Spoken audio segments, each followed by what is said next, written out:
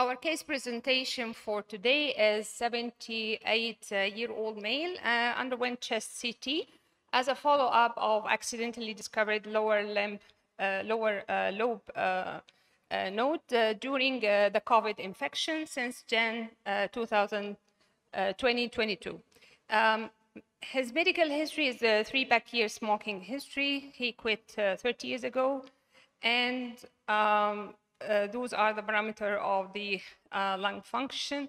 New chest CT in August um, developed a new uh, 2.8 centimeter mass in the superior uh, right uh, lower lobe with a stable of the uh, follow-up previous notes that we discovered during the COVID. So um, this is the uh, picture of the um, chest CT. We have right lower lobe, uh, esophageal recess, uh, mass 2.5 centimeter, abutting the right main stem bronchus uh, with no lymphadenopathy. Tissue diagnosis and staging, we have flexible uh, bronchoscope uh, with, with the flexible bronchoscopy, uh, no endobronchial uh, tumor seen, EBUS for mediastinal staging showed no enlarged lymph nodes. And uh, we take uh, a biopsy, and the pathology revealed a poorly differentiated non-small cell lung cancer, uh, favored squamous cell carcinoma. So, our patient treatment, what would you recommend? Offer right lower lobe superior segmentectomy by thoracic surgeon, or repeat the bronchoscope again, or refer the patients to have a radiotherapy by SBRT technique. We can uh, think I think start. I think both the first the first and last choices are to I, I think both um, the first and last choices should be uh, discussed. Um, this is a non-metastatic non-small cell lung cancer, peripheral lesion. Not uh, peripheral, uh, uh, patient- super central. sorry, sorry.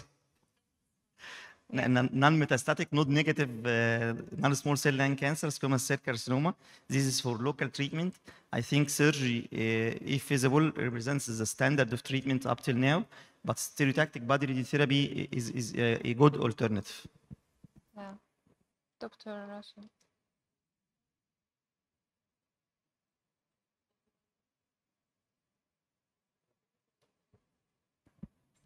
My own opinion, if the patient refusing surgery, it is better to do radical radiation therapy.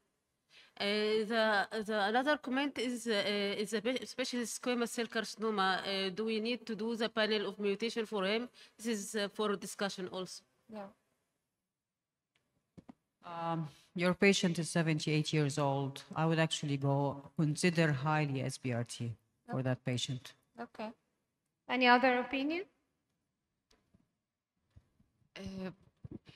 The patients require preoperative assessment uh, as uh, spirometry and DLCO uh, as regard the chest uh, and uh, control chest condition and uh, may consult thoracic surgery. It's resectable. Okay. Okay.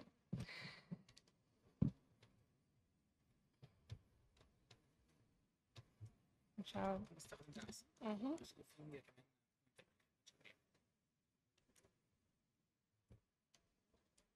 Okay. So the patient, uh, um, uh, our patient, uh, we, we decided to uh, refer him for uh, to have the um, uh, SBRT, radiotherapy SBRT, and we will discuss why why this decision is uh, is there. So the evidence on uh, the treatment of stage one non-small cell lung cancer, the uh, either by stereotactic uh, body radiotherapy for early non-metastatic, um, the standard is lobectomy with systemic mediastinal lymph node, as Dr. Hamad mentioned, and remains the recommended treatment. This is the standard treatment. To go for surgery in any lung cancer, this is the standard of the treatment and the best that we can do. So um, uh, sublobar resection may be considered in, in uh, selected uh, patients with, uh, with the special uh, criteria. On the other hand, um, if we also look to the high operative risk patients, and we will go through how to assess the risk of the patients during the operation, this is the main stone of uh, such a debate. How do we say that this patient is highly operative risk or not? This, the, the, you will direct the patients upon that. So the patient should be informed that while SBRT may have uh, addressed risk from the treatment in the short term, um, the longer term outcome increases the three-year, uh, not well established. In this case, we will uh, go for SBRT. So um, if we come to the um, latest version of the NCCN, we will find here that um, in stage 1A, negative lymph nodes, uh, medically inoperable, but it's not only medical inoperable, but also high risk uh, operable. We, we have uh, uh, an evidence here to uh, go for radiotherapy, particularly for SBRT. Again here in, sorry.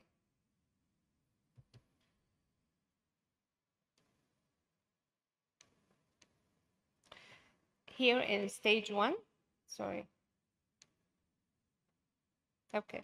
In stage one, central, this is our case that we, uh, we're going to discuss, uh, with no negative, medically inoperable, uh, we can offer uh, definitive radiotherapy with uh, SBRT. So here, the definition of the operable patients. Um, I found this um, table on uh, one of our colleagues' uh, slides from last uh, uh, Astro meeting in US, and it's very, very nice slide, really. So uh, we have a population of a standard operable risk or high risk operable, medically inoperable, and medically untreatable. So the, and the extent of tolerability here adjusted which approach that we can offer for the patients for his, uh, uh, to limit the, the tumor and also to preserve his quality of life. So the standard operable depends on the um, typical described here according to the uh, plenty of uh, pulmonary function tests and general conditions. We offer him lobectomy or pneumonectomy in high risk uh, sublobar resection or ablative therapy uh, uh, in such a context here.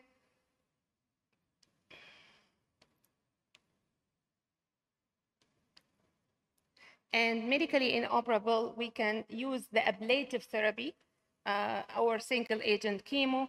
And medically untreatable, uh, we have the uh, best supportive care for those patients. This is a, a very sophisticated diagram. I think the, this is for surgeons, and uh, if we have a surgeon colleague, he can just go through it. But at the end uh, of all uh, these investigations and criteria, setting the criteria, also, we will stratify the patients into low risk for operation, moderate risk to be operable, and high risk to be operable. And this is very crucial. How, how can we direct those patients? How, how can I assess those, pa- this patient is uh, fitted for surgery or uh, play it safe and send it for uh, radiotherapy?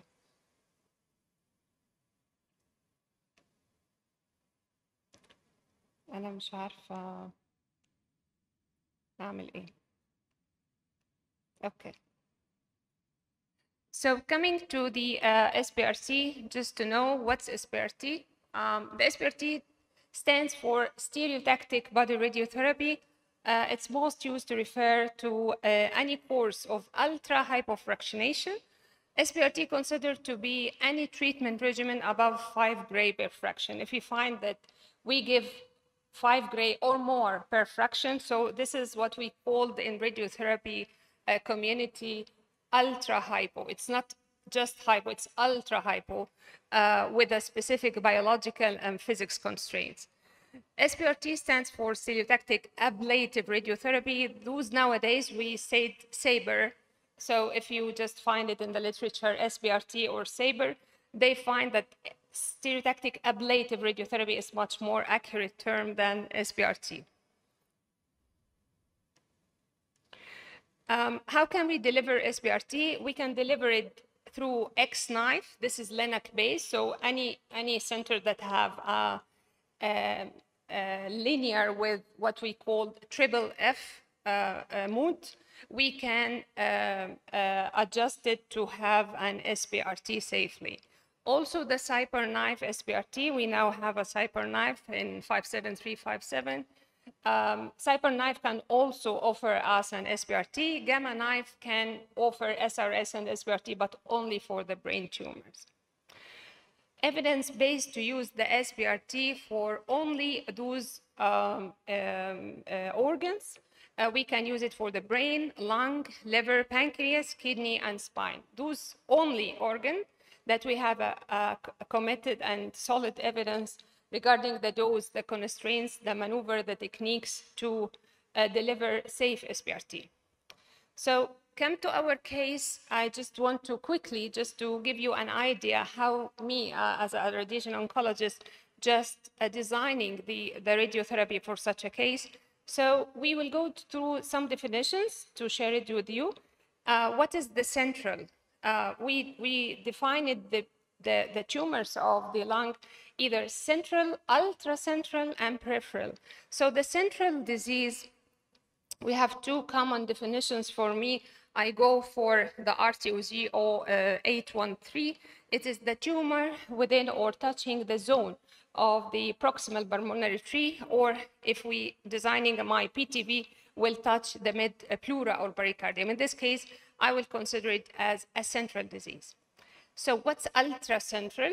Nowadays, um, the literature is, and the publications are discriminating between central and ultra-central. So ultra-central is simply the central plus um, GTV that abut the proximal pulmonary tree, ITV that abuts the proximal bronchial pulmonary tree, or even the PTV. Very simply, uh, when I just uh, tell my residents, they always say, so how we, we cannot uh, just describe what's central, ultra central. I just say it crudely that whenever you are abutting or touching a serial organ, like uh, spinal cord, esophagus, you here are ultracentral. Central Central bronchial or uh, the bronchopulmonary tree, any serial organs, hollow organ, so you are in the ultracenter uh, uh, space. So um, in stereotactic body radiotherapy for ultracentral uh, lung uh, tumor, a feasible option uh, uh, is it a, feasible, safe option? Yes. Uh, review articles and many publications that you can go through that um, uh, prove that the local control and overall survival is the same as surgery and also safe. But still, we if you if you don't uh, design it well and deliver it in a proper way with the high QA and high cautious and the high uh, stratification of your patient, whether it is central, ultra central peripheral, you will face a grade 3 uh, toxicity, which could be fatal. So here, uh, just to let you know that uh, SBRT is not uh, the uh, good option for everybody if we, if we come here for this algorithm, which is very, very useful. if we had a mass less than five centimeters, PTV overlaps those hollow organs like spinal, brachial, plexus, esophagus, and trachea. So this is not for SBRT. So what's, what, what should I do in such a case? In this case, I will go for normal hypofractionation. Okay, just two slides, please. I will go for normal hypofractionation or just the conventional normal fractionation, okay?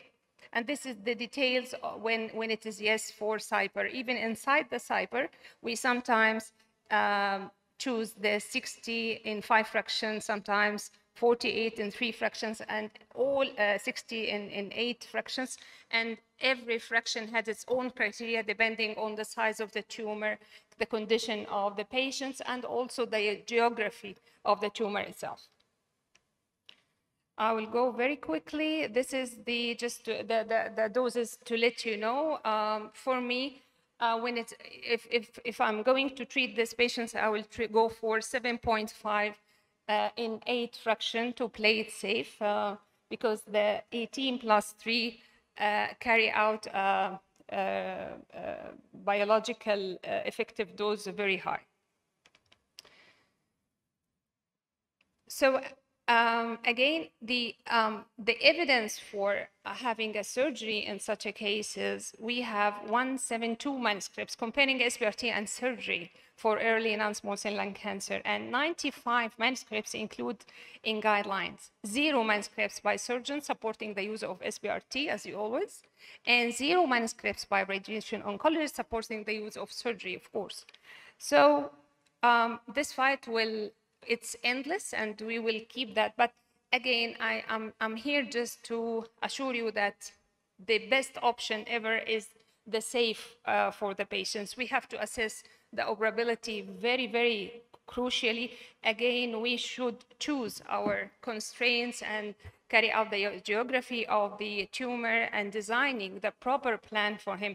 Either or we can harm or either or we can save these patients.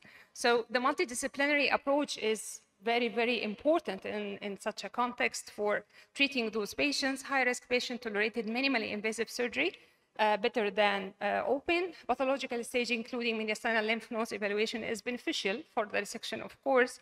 Central SBRT uh, is a very viable option, especially when considered uh, against surgical risks, and longer follow-up and larger number needed, of course. Thank you so much. Thank you, Professor uh, Sohab. I have a- just one question. You you mentioned that the, the standard um, dose may be 18 gray in three fractions. No You- standard. You mentioned in, according to UK. uh, yeah, those are. It's. Uh, I will. I will bring the slide again, but it is. It is not a standard. It's. It's long, long story. I just brief here. Okay, So, so we have a standard 18 plus fraction, Yes. uh, or the conservative dose, if you can uh, have it uh, much safer and, and much biological, we, you can Slide, but do you think that this this this dose is, is sufficient for such a tumor? I mean, you have to escalate the dose beyond no, no, maybe 36. No, very very high dose. The um, the dose uh, 18 uh, uh, per uh, 18 in three fractions is higher biologically than you give 7.5 in 8. 7.5 in 8 is the cooler one.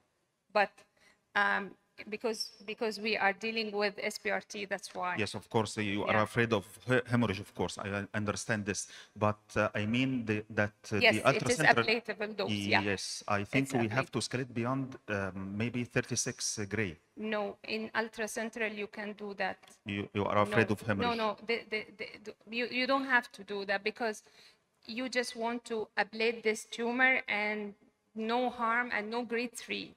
If I just escalated more, I will go for grade three. I will get nothing. مش هكسب حاجة. I, I, will, I will cost him a huge side effects, huge side effects.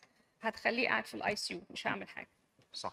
Therefore, the surgery is the standard line of care in Yes, such a tumor. I do agree. Thank you. okay, thank you. Thank you so much. Can we can we invite uh, Dr. Sahar, next speaker, Head of clinical oncology department, Egypt Air Hospital. She will talk about uh, from literature to practice advanced non-small cell lung cancer case presentation. Welcome. please.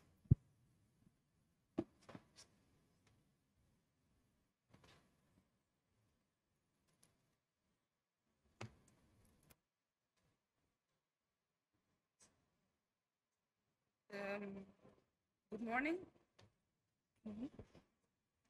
Good morning. Uh, first of all, I'd like to thank uh, Ain Shams University Oncology Department for the kind invitation.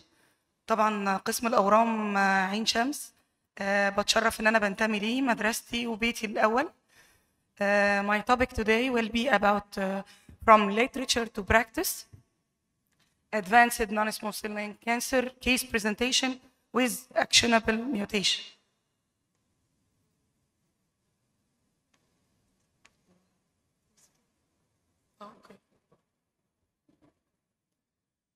Okay, um, our case 70, 71 years old female patient, never smoker, with a past history of hypothyroidism and on replacement therapy eltroxin, with a good performance status 1. Otherwise, her, uh, her history is irrelevant.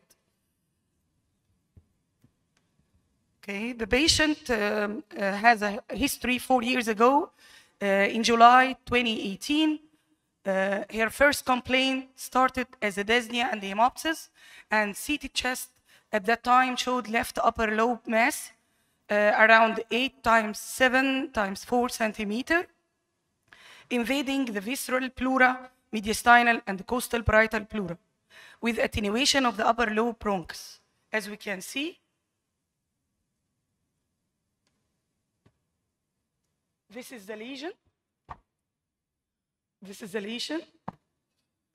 And the CT-guided core biopsy uh, showed bronchogenic adenocarcinoma grade 2.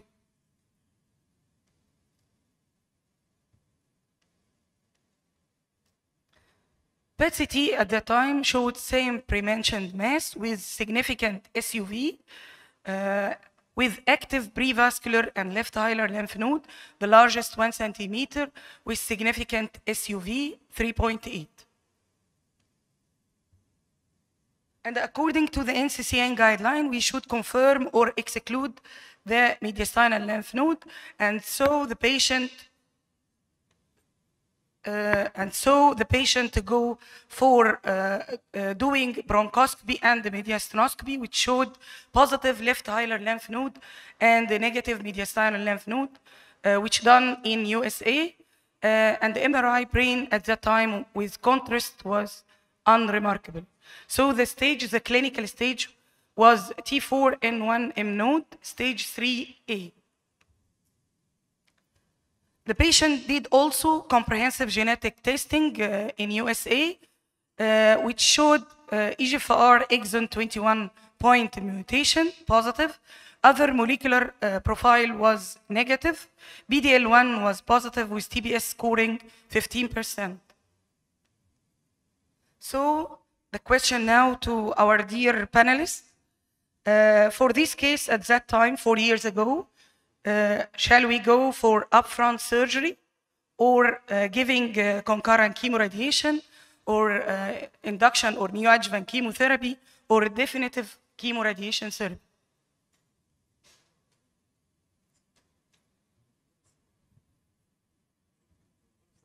My own recommendation is to give targeted therapy for this patient, either uh, uh, gefitinib or uh, oziblaparib. She's she have mutation. Uh, still, still stage 3A. And at the time, uh, 2018, not approved yet uh, in the early stage, only in the advanced stage. So it is better to go for neoadjuvant che- chemotherapy induction, then uh, radical radiation therapy, or uh, neoadjuvant chemotherapy followed by surgery, as you like. Other opinion? Uh, Actually, um, all options uh, are of concern, and this patient should be discussed in a multidisciplinary team, should have our surgeon. Upfront surgery may, may be feasible. Uh, The surgeon may ask for new neoadjuvant chemotherapy to reduce the infiltration of the surrounding, the T4 uh, extension. Um, For me, as a clinical oncologist, may I prefer concurrent chemoradiation.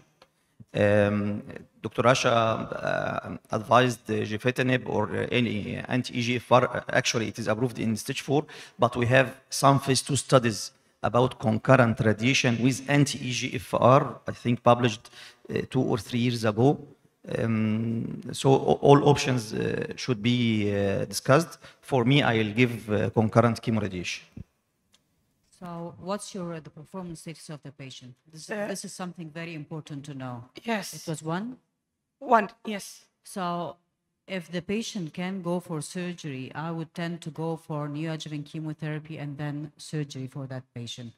And then after the surgery, now in 2022, then you can give the adjuvant treatment followed by osimertinib, the ADAURA trial, taban I'm not aware in that you can give neoadjuvant osimertinib uh, for, for now, even now, for EGFR mutant patients, uh, but I would stick to the standard, especially for EGFR mutant patients, their response to chemotherapy is excellent.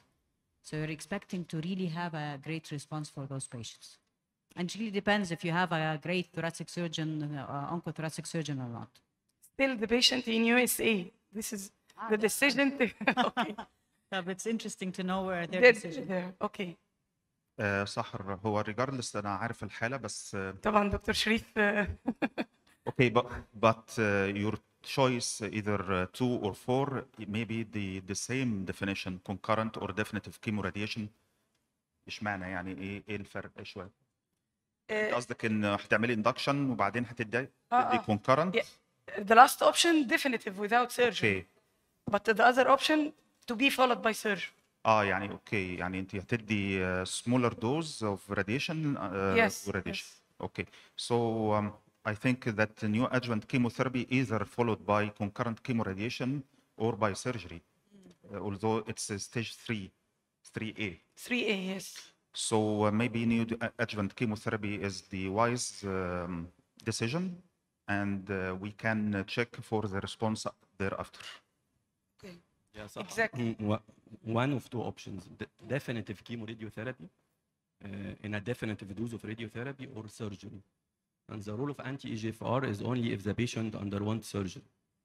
Otherwise, no role of neoadjuvant up to this moment, only after uh, surgery as adjuvant in, in 3A. Okay. Exactly. And according to the NCCN guideline, all options are valid.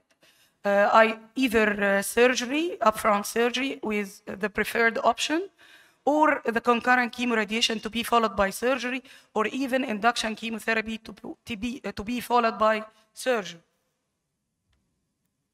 So the decision is still in USA to uh, proceed for induction chemotherapy in the form of pemetrexed carboplatin uh, to be followed by surgery, and the patient received already uh, four cycles of pemetrexed carboplatin with a good tolerability, and the CT chest showed partial response. Uh, the patient underwent the surgery in Egypt in February 2019 uh, with the left upper lobectomy, hilar and mediastinal lymph node sampling, and the pathology revealed adenocarcinoma grade 2 with hilar lymph node positive 3 over 3 and the aortopulmonary lymph node and subcarinal lymph node negative.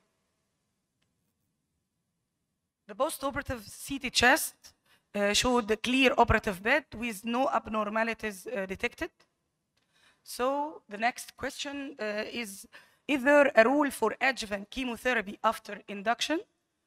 And the second question, is there a rule for adjuvant uh, osimertinib in this case, or even atezo in this case? Remember the case uh, treated in 20, 2018, and the, the approval of uh, osimertinib and atezo uh, recently in 2020. So suppose uh, the approval was uh, 2018, would you treat uh, this case with uh, adjuvant osimertinib or atezo? We'll tell you. Um, first question: Is there a role for adjuvant chemotherapy after induction? The answer is no. And is there a role for adjuvant osimertinib in this case? Uh, if we're talking 2022, the ADAURA was after chemotherapy, but probably it will be of benefit here. I would like to see the EGFR mutant mutation status after chemotherapy. Uh, Um, yani at surgery, we did, you didn't mention that, but it's interesting to know. We repeat it after surgery. And it was again Yes, same positive. mutation. Okay. I would maybe give this patient osimertinib. yani. Uh, um, atezo adjuvant um, for EGFR mutant patients. I'm concerned about the data. Uh, If the patient is treated uh, 2018 or even today, no role of adjuvant after new adjuvant chemotherapy for the first question. For the second question, again, even if the patient is treated today, no role of osimertinib after new adjuvant chemotherapy because, because the ADAURA trial, which uh, led to approval of adjuvant osimertinib, one of the exclusion criteria was uh, previous neoadjuvant chemotherapy. So upfront surgery followed by, by osimertinib, it's okay. Otherwise, no role of either osimertinib or uh, atezo for that patient, today or 2018. Yani, we need data because we don't have the data file and after neoadjuvant treatment. Yes. And according to the NCCN guideline, uh, the patient receive induction chemotherapy followed by surgery. And if the margin is negative, we can observe the patient.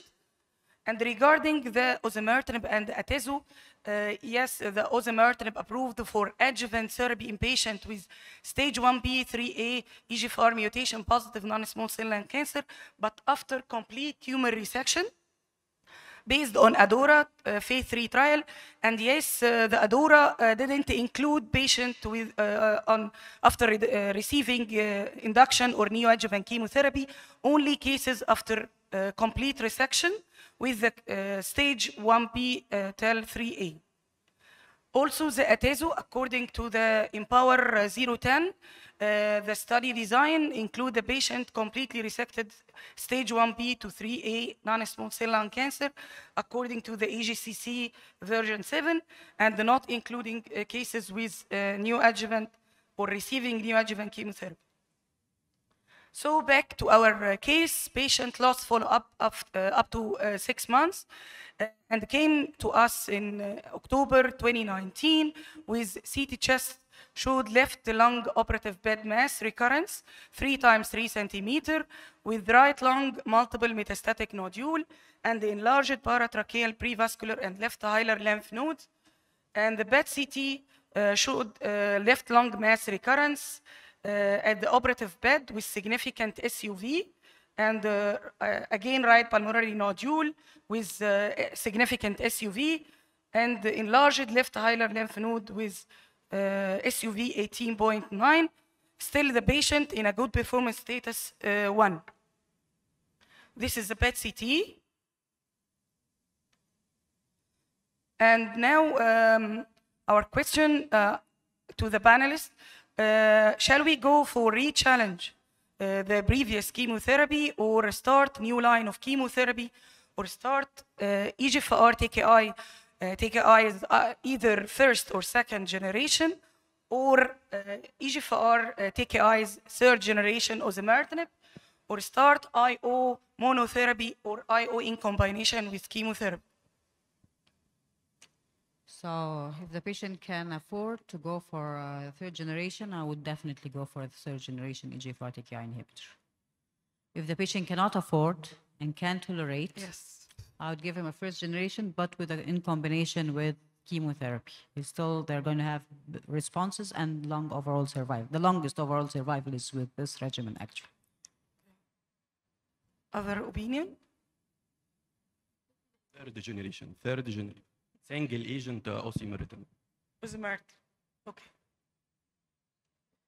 So, uh, according to the NCC, NCCN guideline, whenever uh, we treat uh, advanced case non-small cell lung cancer with actionable mutation like EGFR, exon 19, or deletion or uh, 21 point mutation, the prefer, the, whenever or prior to the first line systemic therapy, whenever uh, available, uh, it's preferred to uh, offer the patient osimertinib. Otherwise, the first or second generation uh, TKIs are available, uh, uh, either erlotinib, afatinib, gefitinib, or dacomitinib. Uh, and according to the first and second generation EGFR TKIs, which approved by FDA and EMA, based on many trials, like um, for example, gefitinib, either in uh, Asian uh, trials or global trial like IPASS or uh, First Signal, we showed a significant uh, PFS uh, benefit uh, in comparison to the comparator arm, which uh, is the standard of care platinum-based uh, chemotherapy, uh, with expected uh, PFS ranging from 8 uh, up to 14 months uh, versus uh, only 6 months in the arm of chemotherapy. And this is according to the overall response rate. We, uh, as we can see, almost doubled uh, overall response rate, uh, 71 versus 40, uh, 47 in the arm of uh, chemotherapy. And this is uh, the next generation TKIs, the osimertinib based on the FLAURA double-blind study design, which include uh, patient with exon 19, 21 mutation in the first line, uh, and the randomization was osimertinib versus the standard of care, uh, the first generation. Sorry. gefitinib or erlotinib with a significant PFS, as we can see from the uh, two curves, Kaplan-Meier curves, and this is regarding the overall survival benefit. And so the decision, uh, the patient received uh, gefitinib. Uh, the patient couldn't afford osimertinib financially. Uh, the patient received a total uh, of 19 months of gefitinib with disease partial response clinically and metabolically by PET-CT. Patients start to complain of headache in uh, June 2021 with almost a disease-free interval 19 months. This is a brain MRI which showed almost a three uh, focus of brain deposits, and the PET-CT showed left apical mass size uh, progression with newly developed left pulmonary nodule with significant SUV. Again, the patient still in a good performance status one. Uh, new core biopsy from the lung mass was taken, which showed bronchogenic adenocarcinoma grade 2 to make sure that uh, there is, uh, we, we are searching for the causes of uh, uh, acquired or primary resistance. So we take a new core biopsy, which showed again bronchogenic adenocarcinoma grade 2. Uh, the liquid biopsy to detect T790M mutation was negative, and on tissue confirmed negativity. And the PD-L1 at that time showed 70% by Dako technique 22C3. So uh, shall we consider the whole cranial irradiation or uh, consider stereotactic radiation therapy or shifting to osimertinib or consider uh, gefitinib plus PEVA or shifting to chemo or chemo plus atezo plus PEVA? Any comment from panelists? I would add anti-angiogenic uh, to gefitinib a to anti-EGFR, uh, whether it is um, ramucirumab or even beva. Yani I would go for number six. Yani the problem is, uh, and this is what happens with the first generation when you give it alone. Yani median progression-free survival is truly it's 18 months, uh, and the patient C790 negative. So the option is really chemotherapy, and because his Uh, because he has a high PD-L1 expression, I would go for the immunotherapy. But such an EGFR mutation, I would still go for the standard of care that we know is the quadruple regimen. If the patient can tolerate, he's 71. uh, still uh, uh, exon 21 point mutation positive, but T790M uh, still uh, negative in both plasma and the tissue. I would go for number six. Patient symptomatic or- not symptomatic brain? Uh, regarding the brain mets, uh, not, symptom not, not symptomatic, أوكي only headache. Yes. طيب يبقى هندي بقى ستيريوتاكتيك Oh, yes, regarding the brain mets. Any other comment? I will confirm the uh, treatment of the cranial disease, stereotactic radiation, small multiple three So I think lesions. prefer to treat the Symptomatic, cranial- I, I prefer to, yes, to the treat with radiation and therapy, of course. the And I agree for the option number six. This patient has increased uh, PD-L1 from 15% at presentation and now 70%. She, she gains the, the, the maximum benefit from uh, anti-EGFR and no T790 mutation. So I will not go for osimertinib. I prefer chemo plus uh. yes. Um, I just want to highlight that you consider definitive local therapy SRS for limited lesions with uh, osimertinib, okay? Or continue um, and yes, yeah. according- so having a bevacizumab with SRS is very dangerous. So you cannot mix both Uh, SRS with? with bevacizumab particularly. Okay. Yeah. Even after uh, the radiation You, you, ca- you can do it with the window of one month for me, for window of one and a half months, but we cannot mix them together, just to highlight this, this point. Even with S- SRS? Yes. For fear of what?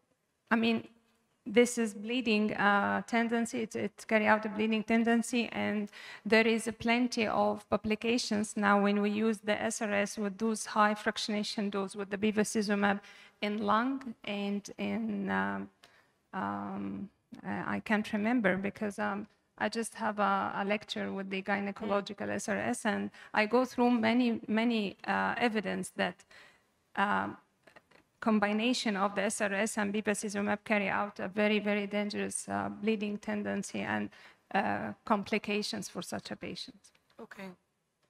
Uh, and according to the NCCN uh, guideline, we uh, should search for the cause of acquired resistance and go directly for T- T790M testing uh, as a category one. And for brain metastasis, we consider definitive uh, local therapy with SRS for limited lesion and consider uh, osimertinib if the uh, mutation positive or continue uh, the TKIs, uh, erlotinib or gefitinib with uh, anti-VEGF, uh, either RAMO or BEVA. And this is the study which include the EGFR TKI re-challenge, re-challenge with BEVA in EGFR mutant non-small cell lung cancer with a, a conclusion of uh, demonstrating a high disease control rate and modest uh, low, longer PFS uh, than the historical data on EGFR TKIs re-challenge alone. And this is, sorry, last time. So the decision to, uh, for the patient to receive the gamma knife therapy to the brain space occupying lesion and uh, to uh, continue with gefitinib in addition with bevacizumab. And the patient received a total nine cycle of beva plus gefitinib with a stable disease clinically by CT. Then the patient suffered from uh, left occipitoparietal hemorrhagic infarction in April 2022 and uh, uh, bevacizumab was omitted. Again, uh, ju- please, just I want to highlight this. Uh, can you just come back again? Okay. Yeah, that's why the patients had a hemorrhage. So, um, because we give the bevacizumab with the high dose of the SRS, or Uh, She didn't receive it She didn't? uh, after a while. yeah, even after a while, we have to be very cautious in such a context. We have to separate a big window. And for me, give the radiotherapy, end your story, and give the patients whatever you want after one month. So this is the the safe uh, the safe uh, combination. If we are going to have a gamma, it's not gamma knife nowadays. Now after my my uh, lecture, you know that we can deliver SRS with Linac. It's just not gamma knife, so any any maneuver. So. Um, uh, I just want to highlight it very well. And here we have it in these patients. We, we develop a bleeding with SRS. So bevacizumab is very dangerous. Not only combination, but narrow window between two, two uh, combination. Thank you. Uh, One comment, um, uh, I participated in uh, BEVA biosimilar clinical trials with Prof. Dr. Rabab uh, a few years ago. Uh, the, reco- the, the main recommendation is to have a window four weeks at least between any radiation therapy and uh, BEVA. I think Dr. Sahar had mentioned that there was a gap between the radiation therapy and four weeks. Yes, yes. And I think Dr. Sahar uh, had a four weeks window. And then the, the, the PET-CT showed the progressive disease with a new bone metastasis. The patient had no bony pain or bone-related complication. Still uh, good performance status, uh, ECOG performance status 1. Uh, and according to the uh, uh, some case study which showed a randomized phase 2 study of gefitinib with or without uh, pemetrexed as first-line treatment in non-squamous non-small cell lung cancer with EGFR mutation, which showed addition of pemetrexed to EGFR TKIs gefitinib result in significant improvement of PFS and numerically longer OS compared with gefitinib in treatment-naive patient. Again, this is not the first line, but we consider this uh, in our case scenario.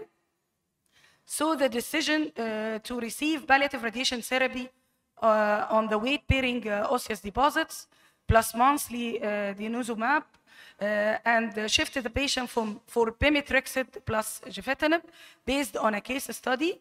The patient received total four cycle of pemetrexed gefitinib with progressive disease clinically by CT uh, and another liquid biopsy for T790M mutation is still negative. ECOG performance status now two. Nash, ممكن a question. Where is the data that you can give post-progression on gefitinib? You continue gefitinib with another combination. Where is the evidence for that? Uh, only case study, case studies uh, like uh, issued. And There's, probably uh, the patient didn't need to receive the So- gefitinib again. So what And, are and we only tested for T790 mutation. We didn't test for any other mutations, مش كده? uh, we repeat it after uh, after the new biopsy on the first progression and again yes uh, no uh, other molecular profile rather than uh, the EGFR uh, mutation and the PD-L1 70% by Dako technique and T790M still negative. We go, we go I through. wouldn't give gefitinib again. Wh- wh- What other uh, options for this uh, case? Because uh, yes, we have the IMpower 150, uh, atezo plus chemo plus beva, but uh, the beva is omitted already from the protocol bec- because of the hemorrhagic infarction the patient developed. So we, we haven't other option, and the performance status, uh, the patient deteriorated and become two. So what other options for this case? Chemotherapy alone. Uh, without even the BAVA, without the immunotherapy. Or you can give uh, Pembro, Pembro with uh, chemotherapy, and again, the results for EGFR mutation, it might be, um, but I wouldn't, if I'm going to give immunotherapy, أكيد مش هدي أتيازو من غير BAVA. uh, the chemo, uh, But I would, يعني for this patient, just chemotherapy single agent, يعني the performance status two. She will not tolerate chemotherapy again. best supportive care. Okay, we go, we go evidence by strongest and uh, then we go down. Yes, you had evidence for uh, anti-EGFR in first line and then incorporation of anti-angiogenic in second line. In third line, we, we go for case study if we do not have uh, much more evidence. And we have evidence for either uh, immunotherapy as single agent or uh, chemotherapy as single agent. Okay. Uh, any any any recommendation will make the patient have the best quality of life in your own opinion. There is no guidelines in this stage for this patient. Yes, we are beyond it for, again. For this question, I don't think that there is evidence for immuno after immuno. I think we can shift to single agent uh, chemotherapy, uh, docetaxel in, in a low dose. Uh, if not uh, tolerated or progressed, I will go for best supportive care. Okay. The patient didn't receive immuno. Uh, the patient is immune naive, as I said. First and second line, there was immuno? No. The patient was immune naive up till now, right? Yes. huh? Didn't receive any kind of immunotherapy. Not immuno after immuno. It is the, the first time to receive immuno. N- Not receiving yeah. immuno before. Uh, only uh, gefitinib plus uh, beva, and then uh, gefitinib plus chemo. Yes, no immunotherapy. So the, the patient go forward for uh, immunomonotherapy, atezo. Patient started uh, in August 2022. Uh, she received only two cycle and waiting assessment after four cycle.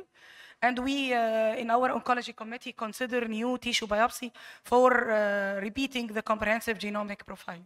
Finally, I'd like to thank uh, our oncology committee in Egypt here, uh, وعلى رأسهم uh, our uh, dear professor and mentor Dr. شريف عبد الوهاب وطبعا شهادتي فيه مجروحة يعني نعمل سبورت لينا في المستشفى. شكرا.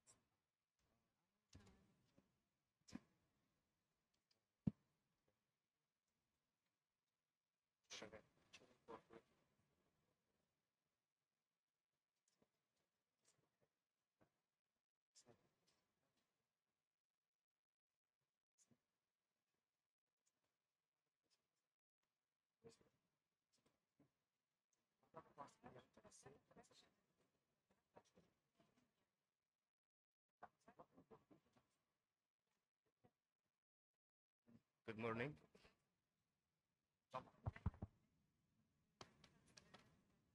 Good morning. Uh, Today I'm presenting a case of uh, metastatic uh, ALK positive uh, non-small cell lung cancer. Um, it's a, an actual case of a friend. Uh, he is a 33 year old uh, project manager, lives and works in Qatar with his wife and a daughter. Um, he is a smoker, 10 pack years, eco performance status zero at presentation, uh, has no history of uh, documented allergies or uh, comorbidities, uh, and um, not on any current uh, medications. Um, he has a family history of uh, lymphoma and a maternal uncle. Um, the condition started in June uh, 2022 with unsteady gait while in Qatar. He um, sought medical advice. Uh, his doctor organized an MRI, which revealed two brain lesions, uh, one uh, right cerebellar, uh, two centimeter, and uh, another one in the left hippocampus, uh, 1.1 centimeter, and both show post-contrast enhancement, diffusion restriction, and central necrosis, highly suspicious of being metastatic. Here we can see the cerebellar lesion, and there is also another one here in the left hippocampus. Um, patient was commenced on steroids, and he asked to uh, come uh, to Egypt for um, uh, opinion. Um, here we he was staged with PET-CT, which showed left hilar lesion, 3.6 centimeter, uh, standard uptake value 7.4, attenuating the left bronchus and causing narrowing, plus attenuation of left main pulmonary artery.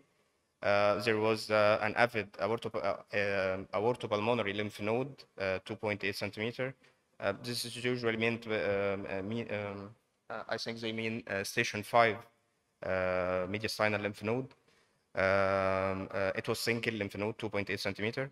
Uh, left upper lobe avid satellite uh, uh, lesion, 1.2 centimeter. We can consider this an ipsilateral uh, lesion uh, and um, an, a nodule in an ipsilateral lobe, 1.2 centimeter, uh, plus, uh, of course, the left temporoparietal brain lesion. MRI spectroscopy was done, and the collective data um, uh, revealed um, goes with metastatic deposit rather than a primary or, or a second primary lesion.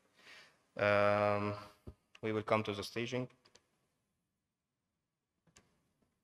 Here is the hilar lesion.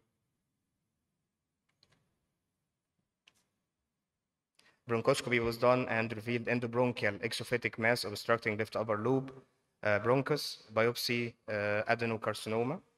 Immunophenotyping was uh, CK7 positive, CK20 negative, TTF1 positive, NAPSIN positive, P63 negative, and synaptophysin negative. Um, uh, marker testing uh, was positive for ALK rearrangement, ALK fusion rearrangement, and PDL1 uh, was 60% uh, by TPS score 22C3.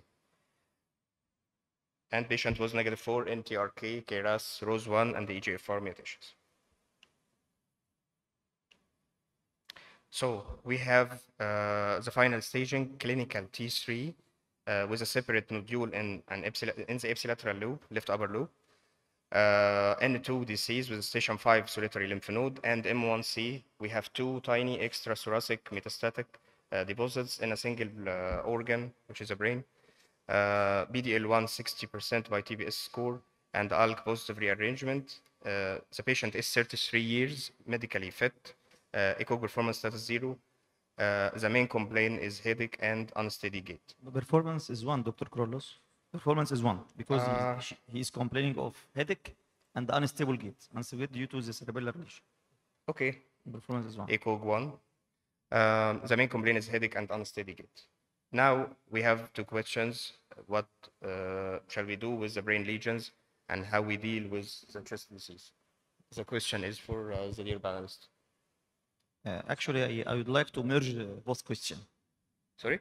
I- I'd, I'd like to merge Sure. both questions because um, in the era of uh, new agents, uh, anti-ALK, uh, there is a very good control of the CNS metastases uh, using uh, second generation ALK inhibitors, uh, which may make us um, postpone radiation therapy later. If you would like to separate both question, we can treat the, the brain metastases with stereotactic uh, radiation and give uh, ALK inhibitor uh, according to the NCCN, we have uh, alectinib, um, brigatinib, and lorlatinib as the preferred options. Other options include uh. Uh, but I think if you have uh, the ability to start with with uh, alectinib, you can postpone radiation therapy uh, till uh, true CNS progression because of the very good CNS control from these agents. Thank you, Professor. I agree. other comment? Second generation. So second generation ALK inhibitors are the standard of care now for a patient like this, and I wouldn't go for any local treatment for the brain for now. I agree 100%. But the question is, uh, we have a symptomatic brain disease, and uh, the arrangement of TKI therapy and the availability of drugs maybe may take, may take um, maybe one or two months. Um, so shall we need uh, urgent local therapy for the brain disease? I do agree, uh, with this uh, decision. In presence of uh, symptomatic brain mets, you have to irradiate the brain mets so either with whole cranial or maybe SPRT, to be followed by consultation of the uh, pulmonologist, uh, Professor Yasser, uh, either to treat the chest condition by endobronchial laser fulguration or something like that. Do you agree with this? Yeah, th- third generation is uh, very beneficial, yes, in uh, metastatic non-small cell lung cancer to the brain. But for this patient, especially that you have serious um, symptoms like gait disturbance and the place of uh, brain mets in the cerebellum uh, warrants uh, a very rapid and local uh, interference, and then we would go for alectinib. Thank you.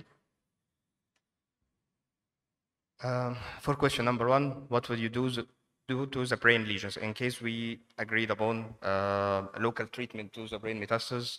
Uh, how will we treat uh, the brain uh, two lesions, one, two centimeter and 1.2? Uh, we have whole cranial surgery, stereotactic body radiother- uh, brain radiotherapy, plus surgery or stereotactic alone or no treatment. In my opinion, surgery is not feasible in such a case, so I'll go with uh, The patient has uh, three lesions. I don't think he's going Two to. uh, lesions? uh, he- Two yes, lesions only, two more than one and lesion. 1.2? He- And he is symptomatic. It is better to control by radiation therapy. Uh, I would prefer localized radiation therapy, not whole brain, uh, not, not whole cranial radiation, to preserve the, the cognitive function of the patient.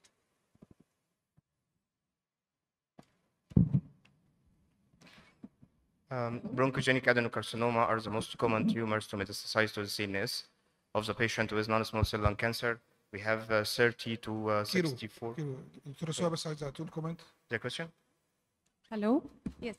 Um, Would you please just uh, display the, uh, the imaging for the two lesions because this is very important. Um, Yes, we have um, one cerebellar and one hippocampal, I think so. Uh, Yes. yeah.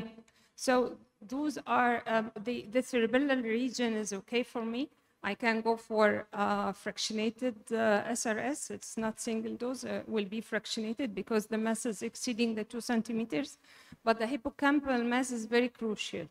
So this mass could cause to that the patients have a complication that you cannot give him anything, even neither surgery or chemo or anything. So um, the hippocampal mass, you have to be very, very cautious, and we will give it the maximum fractionation that we can do. We cannot give it a single lesion. This is um, just um, uh, um, details of radiotherapy, but I know because we had a patients have a, a hemorrhage now, and we don't know and we don't ask how many fractionation when we deliver the patients from the gamma knife. Just send it and have a radiotherapy, and everything will be okay. So for my colleagues in the medical oncology side and surgical side, I want you just to um, have a look and discuss with the radiation oncologist what's next and what's before each case because it do affect. So both will be uh, fractionated, long fractionation, maybe eight. I will give them eight fractions, not three, not five. Okay, thank you. Uh, Dr. No- Swaha, no- Not three or five, uh, so because of the uh, proximity to the hippocampus. Yeah, yeah, yeah, yeah. It's very, Okay. very, very, uh, very harmful. And, and you cannot gamble with, with such um, hippocampal mass. You will face a الحتة دي لو اديته بعد كده أي حاجة آه، فيها tendency الهيموريدج هينزف واحنا كان عندنا حالة قبل ما انت تيجي يا أحمد نزفت فعلا.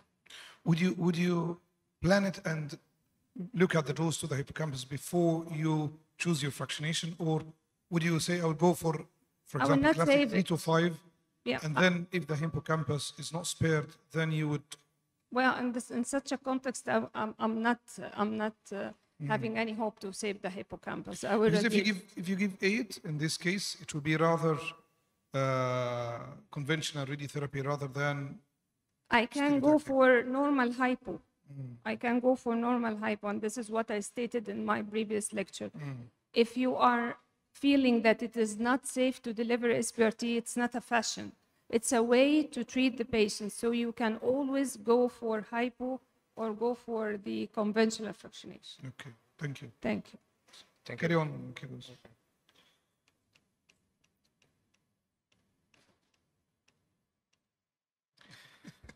Um, of the patient with non-small cell lung cancer, we have uh, 30 to 64 uh, percent deve- uh, who develop CNS metastasis in the course of disease, of which 4 to 7 percent present with leptomeningeal disease. Brain metastasis should be treated with steroids and local therapy when symptomatic. Treatment of patients with brain metastasis with or without leptomeningeal involvement and no driver mutations is dependent on prognosis. Prognosis can be estimated based on uh, RTOG recursive uh, partitioning analysis, which classifies patient, into three uh, classes. Uh, one, uh, patients are uh, those uh, below 65 years old with good performance status, Karnofsky uh, more than 70. Uh, and the class uh, 3 uh, uh, uh, represents patients with Karnofsky score uh, below 70, and class 2, uh, any patient in between. Um, um, RPA class 3 patients, we have evidence from Quartz trial that radiotherapy uh, is not recommended, and the supportive care is as equal as uh, whole brain radiotherapy for those uh, special class of patients. Um, according to ESMO guidelines, in case of limited uh, number of metastatic uh, disease in the brain and RPA class 1 or 2, we can uh, proceed for SRS alone. Uh, randomized trials uh, evaluating SRS have included patients with uh, one uh, up to four brain metastases. Uh, SRS has increasingly become the favored modality due to reduced morbidity compared with whole brain therapy. Of course, the cognitive impairment uh, the patient suffer with uh, whole cranial irradiation. Um, the Japanese trial um, in the, the box here uh, included patients up to uh, 10 uh, metastatic foci in the brain. And it established a new concept in treatment of uh, brain metastases with uh, stereotactic uh, radiotherapy uh, that the tumor volume and the absolute size rather than the number of metastases are the treatment criteria for selection for uh, stereotactic radiotherapy. uh, going rapidly through the NCCN guidelines regarding the case. If we have stage 4A, M1B, or limited M1C disease, and patient is, is ECOG 0 to 2 uh, with limited metastasis, uh, here uh, in the class of brain metastasis, we can go for stereotactic radiosurgery alone or surgical resection if patient is symptomatic or uh, warranted for diagnosis.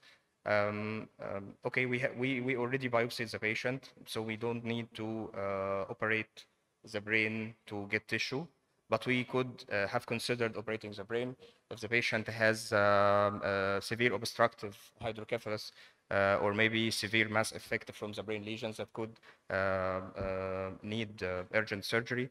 Uh, but anyway, we will start, according to NCCN, we will start with the brain treatment. Options include surgical resection. Okay, K- T- Kiros, just for the sake of time, can you just move on Yes, to what you've okay. done? Okay. I would like to highlight for multiple metastases, whole brain radiotherapy is still recommended, especially for patient with uh, ECOG performance below two. This is um, um, uh, this is second question: How would we treat the chest disease? Um, options include uh, this is an M1 disease, treatment is palliative, or um, uh, we can go radically with uh, upfront concurrent chemoradiotherapy or maybe surgery. uh, or we can uh, form a, uh, a mixture of modalities with starting with systemic therapy and uh, considering local uh, local therapy uh, after a while. Uh, the question for the panelists: What would you prefer? Who, who would ALK go for, s- for, for, metastatic ra- disease who would go for a radical? L- Let's first start easy. بس عشان this is an ALK positive metastatic disease مش كده؟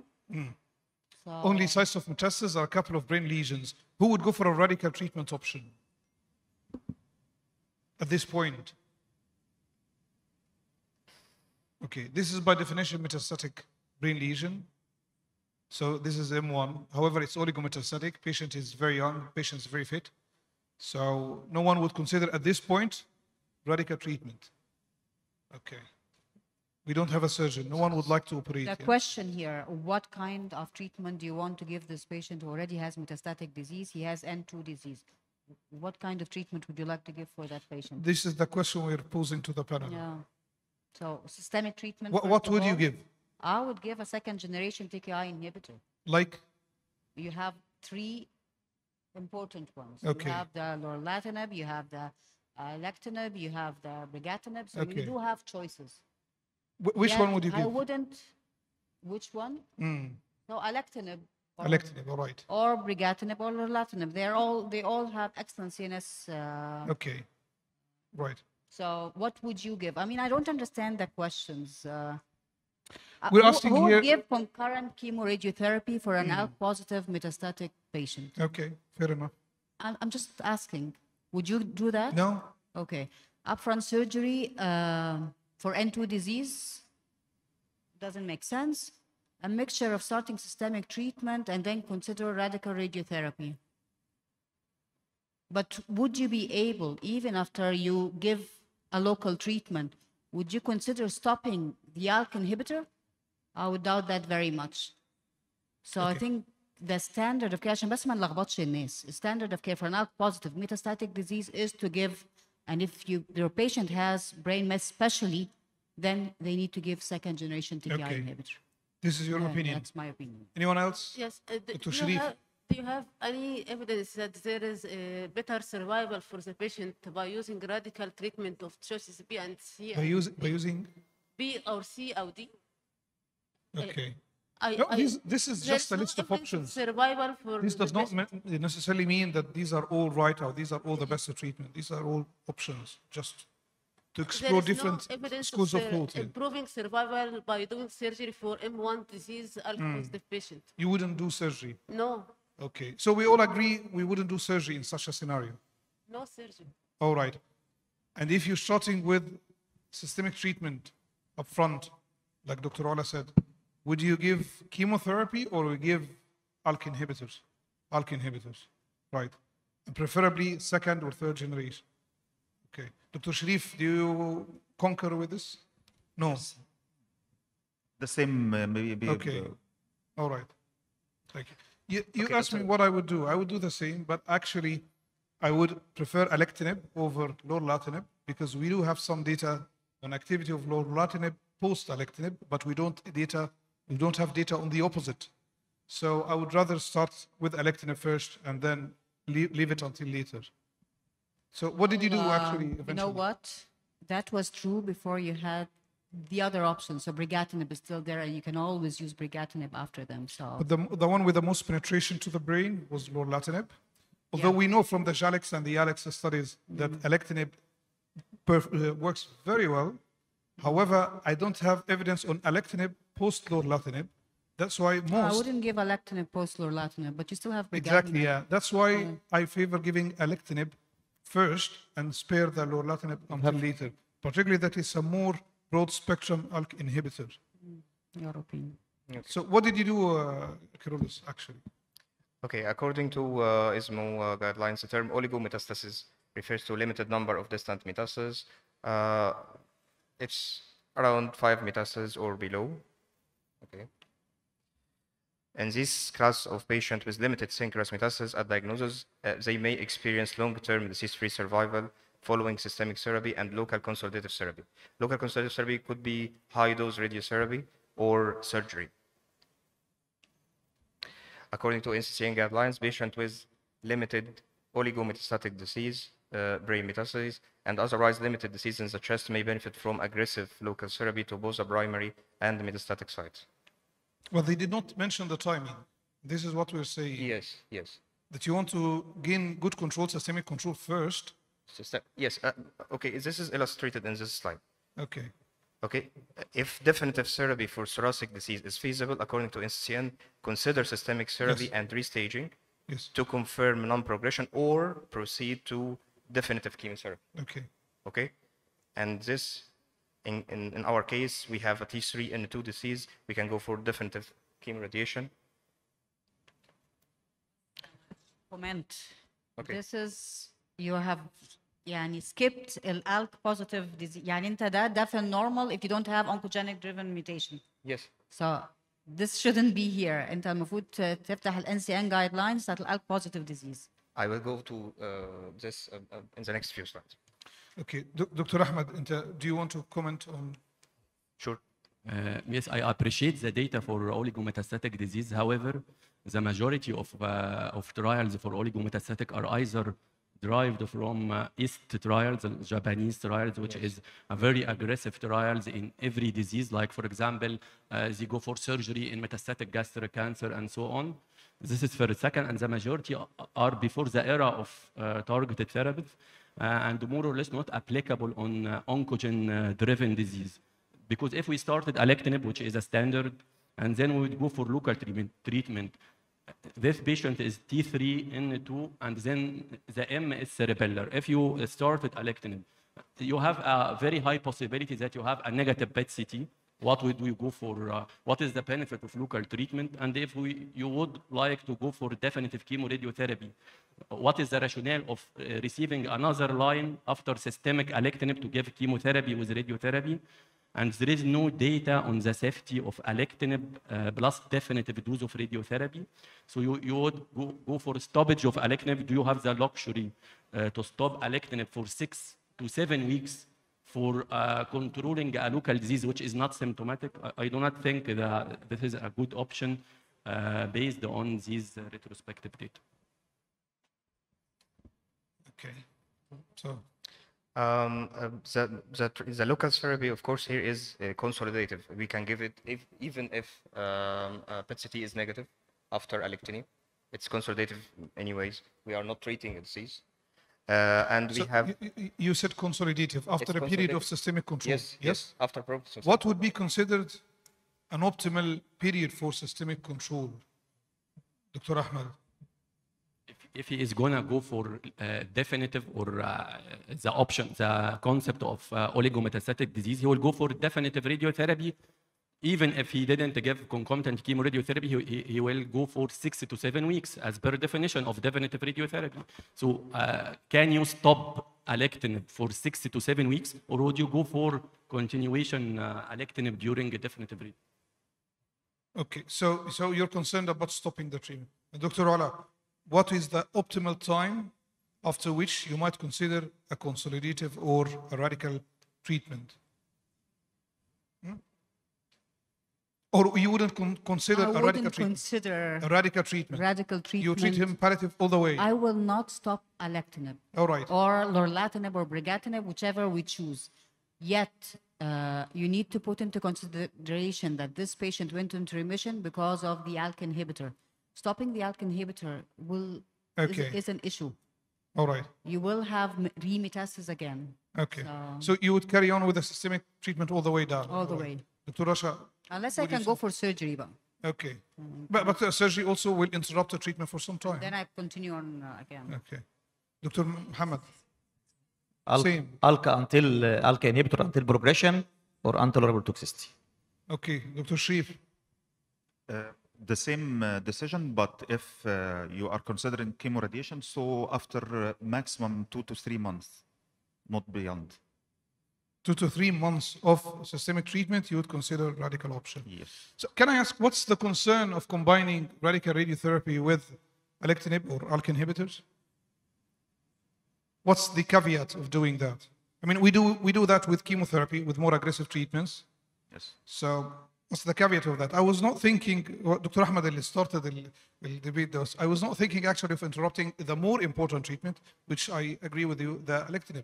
So as a clinical oncologist, I would actually give both together. I would carry on with, with both together. But anyway, I'm still curious what you've done in this case. So I think we have a consensus here that systemic treatment in this patient is by far more important than local control. And you can defer the radiotherapy treatment unless to the brain, unless the patient is really symptomatic. And this young chap was really symptomatic, so we had to give uh, stereotactic radiotherapy to, to be administered upfront. And you, correct me if I'm wrong, uh, Kiros, you've given alectinib or ceritinib or some second generation ALK. All right. سيروتونيب ما ينفعش. Okay. Crizotinib. Crizotinib Okay. So we're talking about second and third generations. All right. Okay. Okay, I will skip this. Um, um I will go rapidly uh, into uh, the results of Alex trial um, when patients were uh, challenged with alectinib versus crizotinib in the first line uh, ALK positive non-small cell lung cancer. And here is uh, the results for uh, progression-free survival Kaplan-Meier curve and the forest plot uh, comparing hazard ratios uh, among the different subgroups, and it was positive for favoring alec- alectinib over crizotinib. The median progression-free survival for alectinib was uh, 34.8 months, and for crizotinib it was 10.9 months uh, in the updated results, fi- updated final results. And also uh, for the overall survival, it favored alectinib at five years with uh, uh, 62% p- uh, of patients alive at five years, while crizotinib was 45% alive at five years. And uh, here is an insight about CNS progression, which uh, was higher in the crizotinib group compared to uh, alectinib group. So the decision to start with alectinib uh, comes first. Uh, of, of course, this is according to guidelines uh, from NCCN for ALK rearrangement positive patient. The whole, the whole uh, subtypes of uh, metastatic disease, but for brain uh, disease, alectinib comes first. Of course, brigatinib, lorlatinib, ceritinib, and crizotinib can be considered as first line, but in our in our case, alectinib would be preferred, uh, especially uh, like Dr. Ahmed Hassan said, lorlatinib can be given in the second line after alectinib. What actually happened uh, so far, patient was treated with stereotactic radiosurgery. Dr. Rasha, I think, uh, won't agree with uh, Dr. Soha, I, am sorry, won't agree with uh, this uh, uh, fractionation. But uh, this what happened anyways. 24 gray stereotactic uh, surgery was delivered to the two brain lesions. Um, uh, okay, the patient has uh, maximum disease diameter two centimeter, so it's arguably we can consider uh, stereotactic radiosurgery. Um, Qatar team recommended induction chemo followed by radical surgery. This was an opinion given to the patient, and he asked for another opinion in Egypt.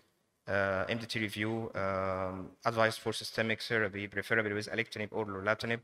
Uh, initially, then consider local treatment after achievement of proper systemic control. Patient opted for one cycle of pemetrexed cisplatin till alectinib was provided by his insurance, and he is currently in the second month of TKI therapy with no notable toxicity, and he is planned for restaging by PET-CT, uh, maybe after six months of therapy, after achieving proper systemic control, IMRT to the chest disease to a total dose of 60 to 66 gray over seven weeks can be added uh, to uh, systemic uh, therapy.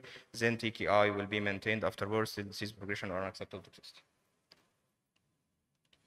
Thank you very much, Douglas.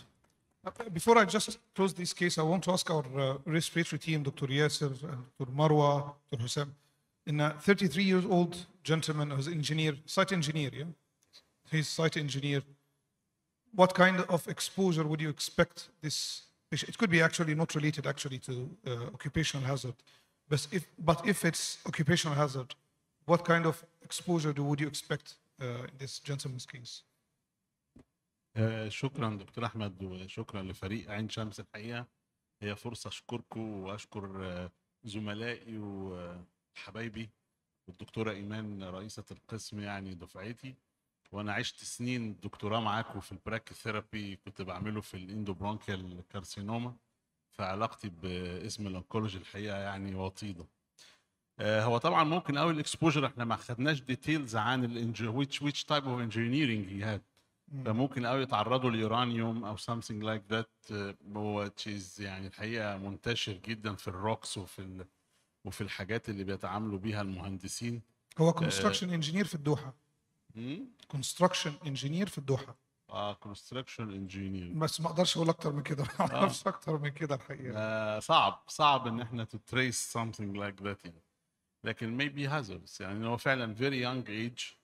وبعدين أنا مش برضو مش عارف إحنا خدنا منه family history ولا لأ. هل في العيلة في cases of bronchogenic or other types of malignancy إحنا بدأنا نشوف دلوقتي آه، أو مش بنشوف دلوقتي ده من زمان malignancy run in families. يعني ايفن حتى مش نفس نوع المالجنس يعني لكن سوري دكتور هي هاز ليمفوما هيستوري اوف ليمفوما ان ماتيرنال انك هي هاز هيستوري اوف ليمفوما ان ماتيرنال انك ليمفوما ليمفوما طيب في بوست جينيتك ديسبوزيشن شكرا. شكرا. طيب uh, we'll move on to the next uh, case. Just for the sake of time عشان also limited by prayer إن شاء الله. و next is uh, another Ain Shams graduate, uh, my dear colleague and friend, Dr. Nagah, and she's going to present a very interesting case. Um, actually, there are many key questions in this case when I looked at the slide on my way, but uh, for the sake of time again, Dr. Nagah will stick to time this time.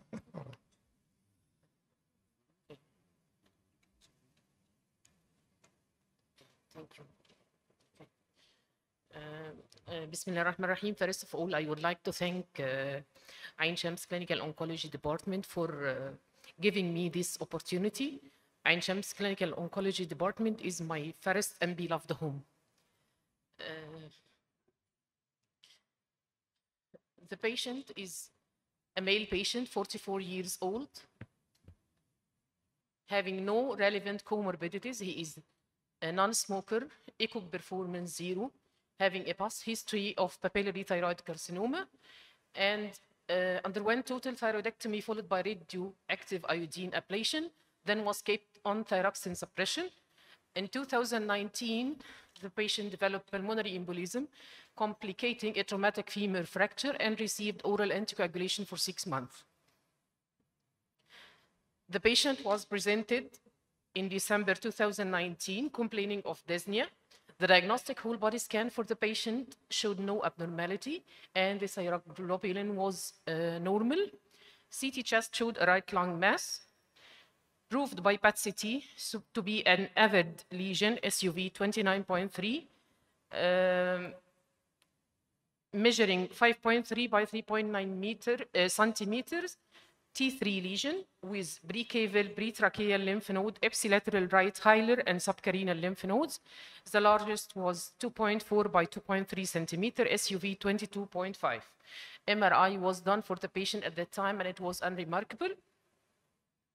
These are the images at presentation showing the long lesion and the nodal involvement. A biopsy showed to be poorly differentiated adenocarcinoma of lung origin. It was CEA positive, NAPSIN positive, TTF positive, CK56 and CDX2 negative. Molecular profile done for the patient at that time was the EGFR and was wild. ALK negative, PDL was uh, 60% by Dako staining. This was available at that time. So by staging, the patient is T3 and to stage 3B non-small cell lung cancer. What are the available options for this gentleman? To go for surgery followed by adjuvant radiation therapy, or by adjuvant treatment, or definitive concurrent chemoradiation, or induction chemotherapy, then concurrent, then consider surgery, or chemotherapy, then radiotherapy, chemo alone, radiotherapy alone, or other options. Others. Where, uh, wouldn't you like to give uh, neoadjuvant immunotherapy مثلا? Okay. Give concurrent chemoradiation for T3 and 2. Dr. Ahmed. Our surgeons definitely say no to surgery in such a presentation with bilateral lymph nodes and with this distribution. The challenging part might be including the whole volume of the disease in a radiotherapy from the start. If it's doable, then you can consider it. Dr. Muhammad, what would you do? What would you do? with Similar scenarios.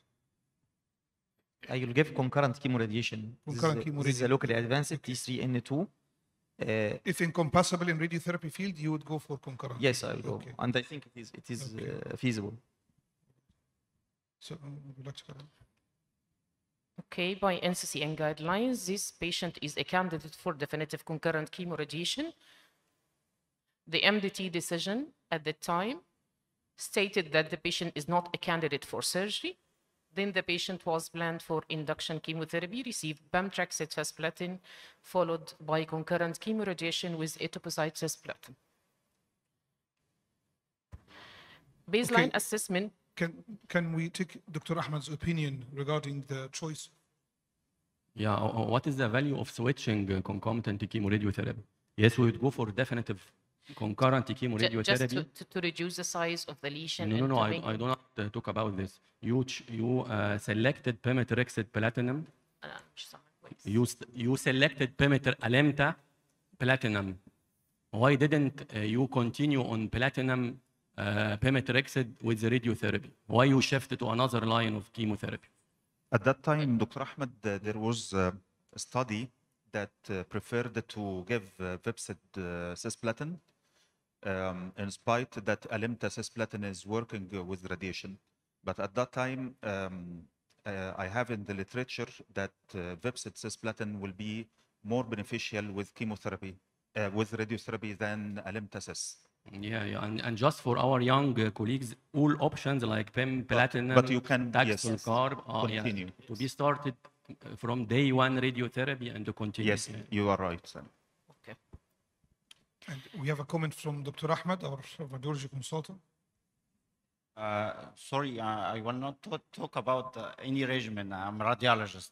Just uh, back to the PET CT images. Uh, regarding a 44 years old male, uh, I think we must consider the uptake in the lower lumbar and iliac crest bilaterally, which is, I don't think it will be degenerative for such age, 44. Uh, we must consider uh, for further assessment by bone scan or even MRI to exclude any marrow infiltration because of course they may uh, alternative uh, your opinions about the treatment. أنا دكتور أحمد عندي سؤال ليك. Uh, in 2022, what's your preferred systemic treatment in the form of neoadjuvant? Neoadjuvant? Yeah. Well, actually, you can consider cisplat- cisplatin or carboplatin, but preferably cisplatin with Pemetrexed. But the Americans like, for example, etoposide, I was just talking to, when we've been involved together with David Carbone in one of the sessions, they said this is his standard of care, whether induction or concurrent. So they are all alternative options. Combining the partner with a platinum could be a taxane, could be platinum, it could be uh, toposide or Pemetrexed. What we don't like is gemcitabine because of the adverse yeah, interaction with But you wouldn't like to add immunotherapy at all? Ah, and the neoadjuvant, neoadjuvant in before 2022. radiotherapy or surgery. Neoadjuvant Before surgery, I might consider. Immunotherapy, as why I'm asking this question, Mm. because the responses, the pathological responses that we see with adding immunotherapy is amazing. But in 2022, we cannot write just chemotherapy. We have to have that option to be there. Thanks for bringing this up. I agree. But I think we still have to wait for the data before radiotherapy because I agree with you. Before, uh, before surgery, the benefit of pathological complete response, which we've all seen in the literature, might warrant if we have access to this. But I believe this patient was treated even before uh, the data comes out. So this patient was treated, when was this patient treated? 2019. So I think we did not have this data at the time. His, his PDL1 60%, so he might benefit from. baseline assessment for the patient done with audiometric creatinine clearance, and the patient was referred to a vascular surgeon in our facility, fixed a port case, and was kept on prophylactic anticoagulation owing to his history of pulmonary embolism. Based on Khorana predictive model for chemotherapy associated VTE, the patient was found to have an intermediate risk to develop VTE, so he was kept on oral anticoagulation for six months, apixaban. The patient started three cycles of pemetrexed cisplatin. Evaluation by CT showed a partial response in the lung mass. It is now 3.7 by 2.4 centimeter compared to 5.3 by 4 centimeter. And there was a partial response also in lymph nodes. The largest now is 1.4 by 0.9 centimeter. And according to the plan, the patient was referred to concurrent chemoradiation with etoposide cisplatin, completed 66 gray on 24th June 2020. The CT evaluation showed further regression in the lung mass. It is now 3 by 1.5 centimeter and the lymph node is 1 by 0.7 centimeter. These are the images after induction chemotherapy and after concurrent chemoradiation.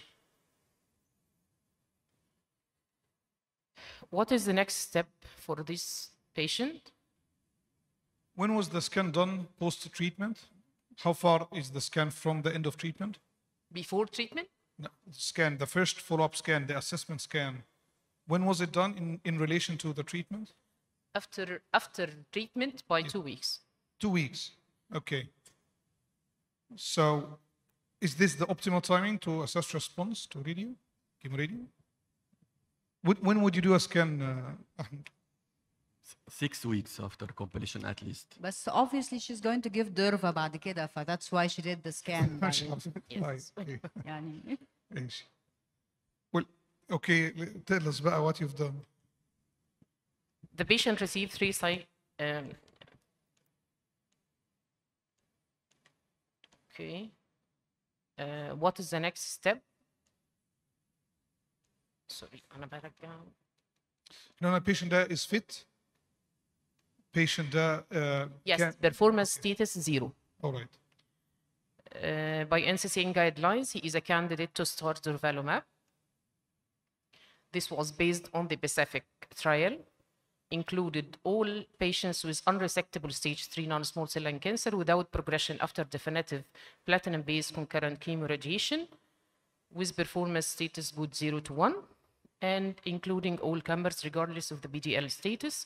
The patients wa- were randomized to Durva uh, versus placebo within 42 days post-concurrent chemoradiation. So let, let, let me just ask you, Nagah, if this patient was PDL1 negative, would you have considered durvalumab maintenance? If this patient was PDL1 negative to start with, would you have considered? All right. Yes. in the US yes in Europe no Okay, yes.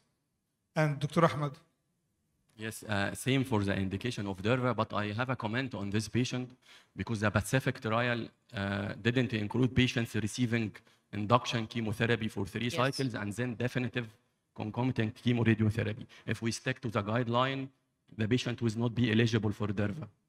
And, and this is one of the drawbacks of starting neoadjuvant chemotherapy and then going for definitive chemoradiotherapy because okay. the, the, patient is, will not be a good candidate as per gu guidelines for maintenance, uh, for consolidation Durva. But we do have a lot of real uh, life data. Real world data. Yeah, yeah, uh, by the end of the day if you do have a residual disease then really the standard of care Mm. is to give immunotherapy Dr. Muhammad Abdurrahman, I, I agree with Dr. uh, Ahmed. Uh, if you would like to stick to the trial design, this is okay. But if you would like to go to the rational beyond the trial, we have two rational. First, described by Dr. Ala, is there must be a residual disease. And second is the immunogenic effect caused by radiation therapy. So I agree to extrapolate and give durvalumab. And you would not do a, you would not rely on PD-L1 result um, to decide whether to give irrespective, it. irrespective of the, PDL1. Was, okay. The patient was initially uh, BDL 60% by the Costanian. 60%? 60%. Excellent. Excellent. Okay. Well, by the way, just yani, uh, to comment on that, definitely if real-world data, which is not the best quality data, but it's a real world data that some give because many of our patients actually we conducted a study in Ain Shams and we find that the big majority of our patients, more than two thirds of our patients, go for sequential rather than. Um, so in other tumor settings, in other country settings, they looked at the real world data and they found that many oncologists, if they do have access, they can prescribe durvalumab post-sequential, they give durvalumab post-sequential. And there is an ongoing clinical trial conduct, uh, sponsored by AstraZeneca uh, for this at the moment. So what have you done? And uh, based on the data of the updated survival analysis, the patient uh, uh, will benefit from uh, durvalumab uh, in the OS with a hazard ratio 0.7 and the PFS hazard ratio 0.55. So the patient started durvalumab, finished three months of treatment in uh, at the end of 2020 with good tolerability apart from self-limiting grade 1 pneumonitis that occurred two months after treatment. Interim CT assessment after three months of treatment showed almost total resolution of the lung mass and mediastinal lymph nodes with pleural subsegmental consolidation, likely radiation pneumonitis. These are the images following three months of durvalumab. Then the patient continued another three months of durvalumab till March 21, but started to complain of exertional dyspnea. Uh, at that time, there was a COVID pandemic uh, era, and it was actually difficult to reach what is the cause of dyspnea at that patient. What are the possible causes? Is it disease progression, pulmonary embolism, immune-related pneumonitis, radiation pneumonitis, COVID, or others? Um, my question to dear pulmonologists in, uh, in the panel, uh, how to reach a diagnosis of the increasing dyspnea in this patient?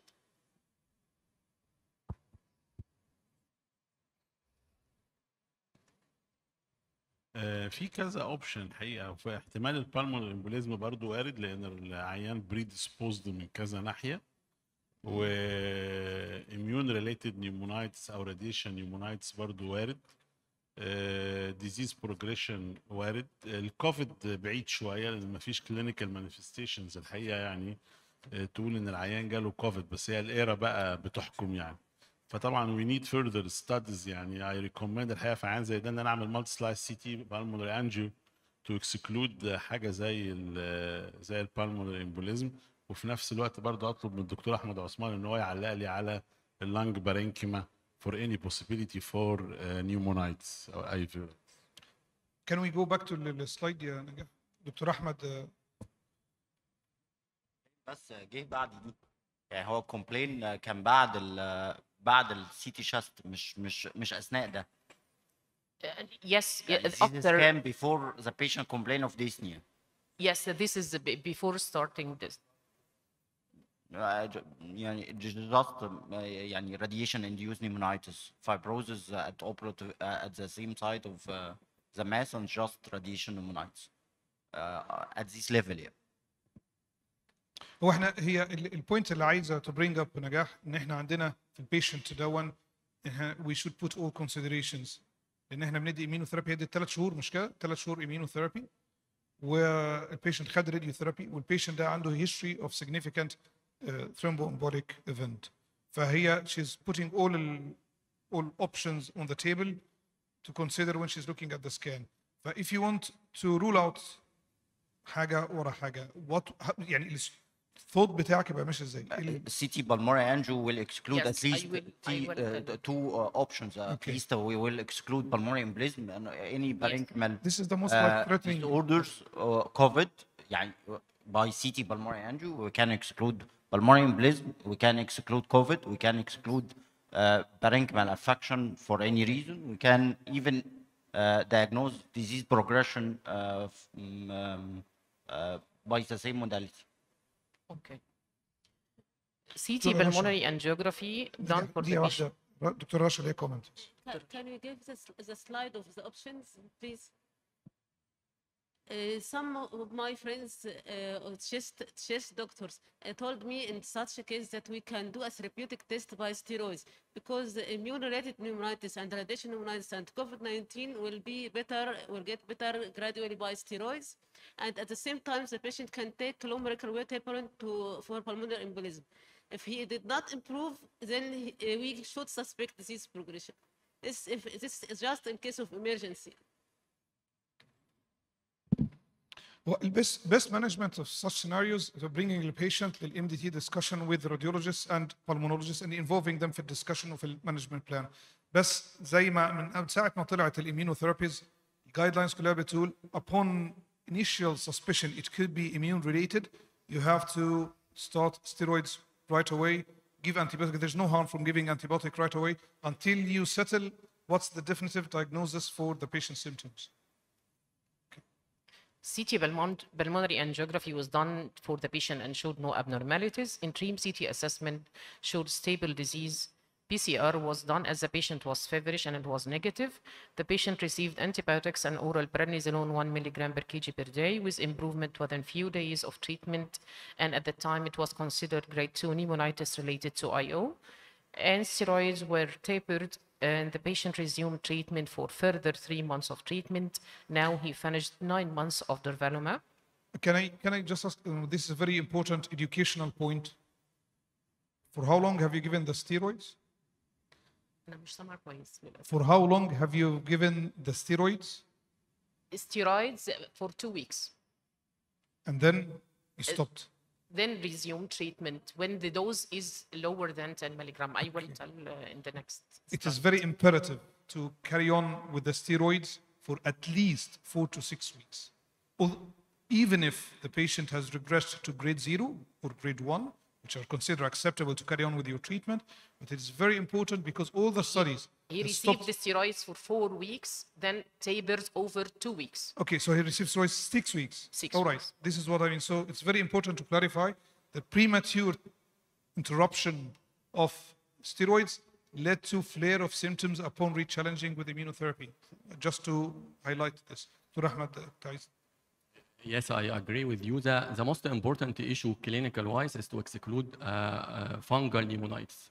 Because you can, we can start steroids and uh, get improvement with COVID, with uh, even the disease symptoms, with uh, whatsoever the cause other than uh, fungal pneumonitis.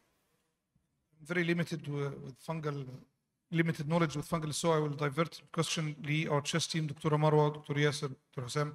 Um, How, how would you approach this possibility of fungal infection with COVID? Def- definitely from the uh, from the radiation it is difficult to uh, to do that. But uh, recently we have now uh, in Ain Shams a project with uh, one of our colleagues from the medical mycology department in faculty of science. So we have now algorithm and now all the lab facilities will be soon available for such case including galactomannan, beta-lactam, and uh, beta-glucan, and even rapid cultures which uh, diagnose the fungus within two or three days. We can do this from sputum or lavage or even from blood. That's why it is not difficult, uh, soon it will not be difficult to diagnose fungal infection. Please don't give uh, empirical antifungal uh, in any suspect case before doing the uh, definite test. It, is, it will be available very soon, within weeks. آه لكن كلينيكالي اند راديولوجيكالي مش ماشيه قوي الحقيقه مع فانجل مع فانجل انفكشن اوكي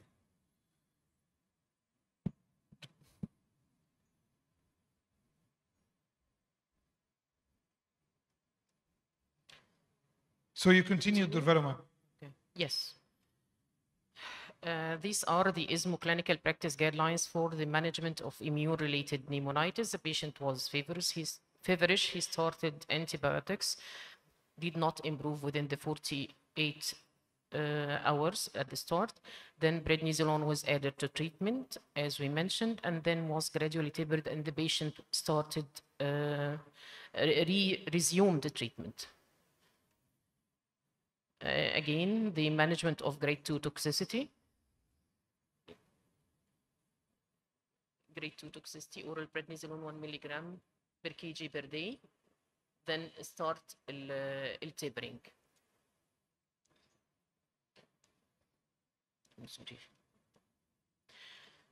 Uh, after nine months of durvalumab, unfortunately, the patient developed progressive disease by PET-CT in the form of recurrent mediastinal hilar and newly developed right internal mammary lymph nodes measuring 3.3 centimeter with recurrent right lung soft tissue lesion measuring 3.7 by 3.8 centimeters, SUV max 12.2, and newly developed subpleural tiny pulmonary nodule. The largest was at the apex, 6.5 millimeter, SUV 3.8. This is the imaging of the progression at that time. The initial row is after three months of durvalumab, and the next is after six, after nine months, six months later, I, I mean, showing the progression. What is the next step? Dr. Ahmed, what's the next? Yeah. uh, We don't have any data about the rest of molecular markers, EGFR, RET, MET, KRAS, ROS. Uh, the patient was initially ALK negative, uh, BDL 60%, but was by Dako staining, and EGFR uh, Yeah, yeah, I, I was but PDL1 has nothing to do. PDL1 positivity has nothing to do if we have uh, a molecularly driven tumor. So we, we should go for the co- to complete the panel initially from the start before uh, going to consider PDL1 positivity is of clinical significance. We should do the full panel, and fortunately, most of the markers are uh, done for free. So you want to order now the full molecular uh, testing? Okay, and ideally before. I- I'd like to have a rebiopsy. Rebiopsy. To, to do the whole, the, the full panel, yes. Okay. Is this what you've done? Uh, the patient refused rebiopsy at that time. Uh, there was no evidence to give him IO after IO. Uh, if we review the data, uh, all the data are including uh, IO, whether uh, mono or uh, combo, but the patient previously reviewed received IO. Uh, other recommended options are chemotherapy. The MDT decision at that time was to start the patient chemotherapy. The patient started first line treatment, docetaxel. As there was no data I mentioned uh, to give IO after IO and no strong evidence to support platinum rechallenge. Interim CT assessment after three cycles of docetaxel showed regressive disease regarding the primary right lung lesion and stable right mediastinal and hilar lymph nodes. Um, Nagah, can I just ask the panel, Dr. Ala, would you have revisited the platinum option again after almost one year? Particularly that it was given in a radical setting. Now we're, m- m- d- yeah. Of course, I would have revisited the platinum uh, option. I mean, docetaxel I would give as a second line, never as a first line. Um, I would have revisited the whole protocol, the pemetrexed uh, cisplatin. I would have given gemcitabine cisplatin. Uh, this is one thing. Now, the IO rechallenge is quite a debatable issue here. Uh, whether we can, because again, the patient had a PDL1 that was very high. Mm. Do we have data that we can re-challenge with IO? It's been nine months. Mm. If it was six months, I would have said no way. Nine months, We, we, we have ongoing clinical trial. Yeah, Looking at important. two things. Mm. Can we give CTLA4 combination? Mm-hmm. This is question one. Question two, can we reintroduce chemo with durvalumab or with immunotherapy? But we're awaiting the results. Or change the durva. Once the patient is metastatic, I wouldn't be giving durva. I would be giving uh, another type of uh, Platinum based. platinum based, and maybe I would consider pemetrexed here. Okay. Maybe. Dr. Sharif, would you have reused el platinum? No, I don't agree with this. I think uh, we'll proceed with, uh, with monotherapy docetaxel. But why, Dr. Sharif? Why wouldn't you give? I mean, this is now the patient is metastatic. It's been nine to 10 months from the chemotherapy that he received. And he achieved a response, a very good response with the chemotherapy. I huh? do agree with this, but I mean, if uh, we looked for the uh, data, uh, especially from NCCN, we um, uh, reviewed this uh, that docetaxel may be uh, without platinum, maybe acting more and uh, less toxicity. As a, as a first line metastatic? I mean, if you In look at the case, first, I let, think let's, let's uh, forget that the patient received that neogen. This is a metastatic patient. Your standard of care first line is a doublet that contains Yes. platinum. You'll get the best responses But, and you uh, best get the best progression free and overall survival. Yes, but Yet if you for a for IO, Mm. because the patient received in the start the platinum and uh, received the durvalumab. So the data here is missing that um, uh, docetaxel without platinum is acting more than to give platinum. As a- if you consider it f- a first line, maybe I am considering it as a second line. No, it's first line metastatic. And Dr. Rasha, would you give platinum or docetaxene's single agent? Actually, I'm going to look for the performance status of the patient and If the his performance perf- is permissive, let's assume it's Uh, If permissive. the patient performance status is okay, the first line of treatment for metastatic uh, stage 4 lung cancer patient is platinum doublet. دكتور احمد انت تف- تفضل ايه؟ I, I, before thinking of chemotherapy and immunotherapy, I don't think it is wise not to go for uh, doing the markers even on the initial biopsy. again, again, even if you, you can do for circulating tumor DNA for EGFR, if the patient has EGFR mutation, which is present in up to 20% of Egyptian patients, uh, how can we go for immunotherapy or whatsoever? But if I would go for chemotherapy in a palliative setting, uh, in a patient receiving a previous platinum, I would go for single agent. I have a comment. Initially, at the time of the diagnosis, the patient already underwent a complete lung panel. It was Uh, negative. uh, except ROS1, EGFR, ALK. You, you mean to repeat uh, the molecular at the time of uh, metastasis?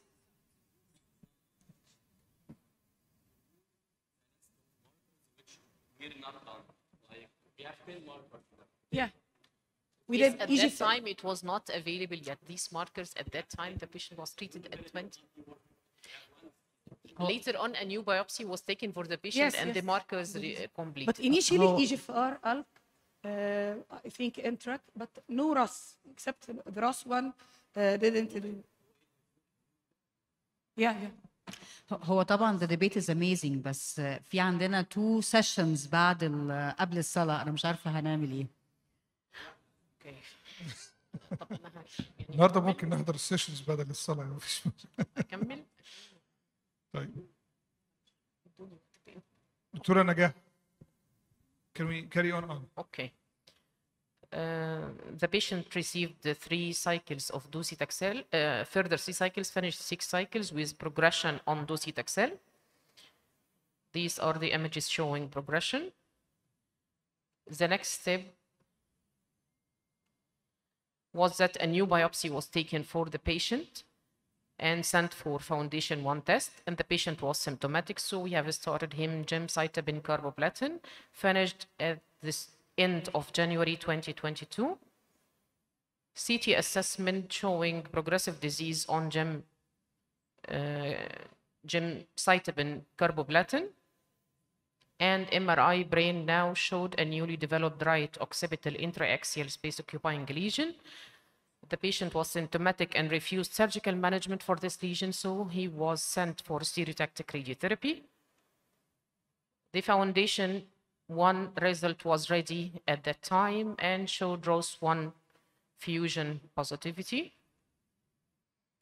And based on the NCCN guidelines, the patient is a candidate for either uh, entrectinib, uh, crizotinib, or ceritinib, but entrectinib is the preferred one in the brain mets.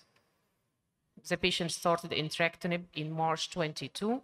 PET-CT after three months showed near CR of the bony lesions with partial response of the mediastinal and lung lesion. These are the images after three months of entrectinib.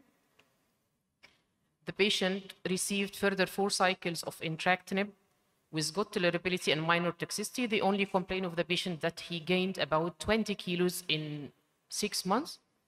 The new PET-CT assessment is requested and uh, still pending. My last question is what's upon progression for this patient? He is still in a very good performance status, zero to one. Stop treatment. Stop treatment. I agree for stoppage of treatment, but uh, I think lorlatinib is a is an option for ROS and uh, ALK both um, was positive in the trial.